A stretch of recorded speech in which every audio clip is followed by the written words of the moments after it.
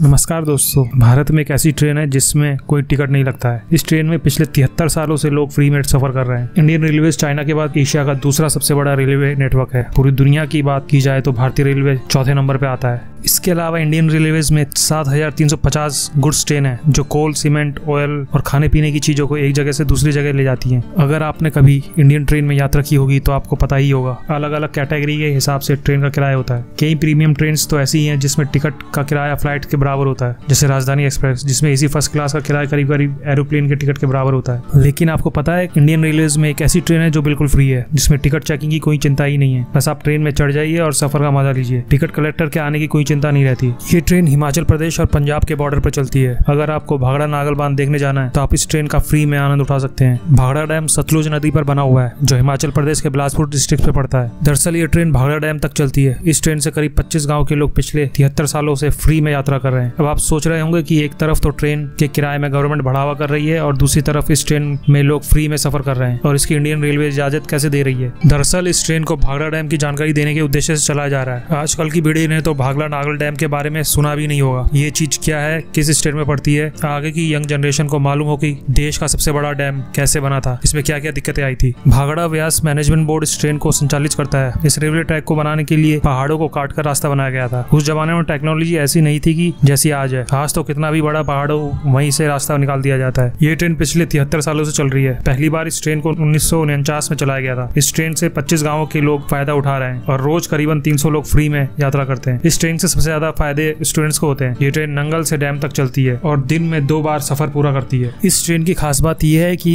इस ट्रेन के सभी डिब्बे लकड़ी के बने हुए हैं। इस ट्रेन में कोई सामान बेचने वाला या फिर टिकट कलेक्टर या टीटी नहीं मिलेगा। ये ट्रेन डीजल इंजन से चलती है और करीबन एक दिन में पचहत्तर लीटर डीजल लग जाता है। एक बार इस ट्रेन का इंजन स्टार्ट हो जाता है तो भाखड़ा से वापस आने के बाद ही बंद होता है। इस ट्रेन से बरमाला, ओलिंडा नेहला भाखड़ा, हंडोला स्वामीपुर खेड़ाबाग कालाकुंड, नंगल सलागढ़ी और आपस के दूसरे गाँव के लोग फ़ायदा उठाते हैं। ये ट्रेन सुबह सात बज के पाँच मिनट पर नंगल से चलती है और लगभग आठ बज के बीस मिनट पर भागरा से वापस नंगल की ओर आ जाती है। इस ट्रेन का दूसरा चक्कर दोपहर को तीन बज के पाँच मिनट से नंगल से शुरू होता है और शाम को चार बज के बीस मिनट पर भागरा से वापस नंगल आ जाती है। नंगल से भागड़ा पहुँचने में करीब चालीस मिनट का समय लगता है। जब ये ट्रेन शुरू हुई थी, तब इसमें दस बोगी हुआ करती थी, मगर समय के साथ साथ इसमें अब तीन कोचेज ही रह गए हैं। इन तीन कोचेज में से भी एक बोगी टूरिस्ट और लेडीज़ के लिए रिज़र्व है।